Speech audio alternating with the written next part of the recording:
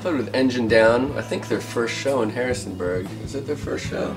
For, One of their first shows. we they played with them one of their first shows in Philly with 400 Years. Mm. I remember that.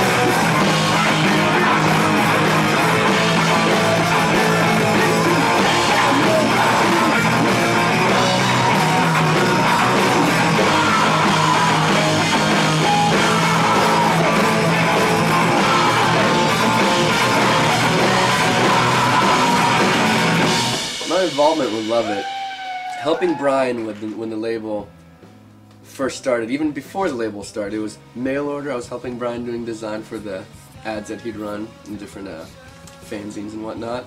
And then when he actually started the label, doing ads for that, and then kind of started to uh, kind of help him find some bands. Basically, since I played in a band, you know, my, I tended to uh, run in more uh, circles with uh, musicians and whatnot, and the bands for us we played with at the time and stuff. So uh, I'd suggest bands to to Brian. One of them, Sleepy Time Trio. For a while, I was a little more active with, uh, you know, talking to the bands and organizing the the A and R sort of thing that Lovitt does. Even though I wouldn't say that Lovitt does anything quite like it because it's more of a more of kind of like a Dischord uh, aesthetic where everyone's kind of friends and they know each other.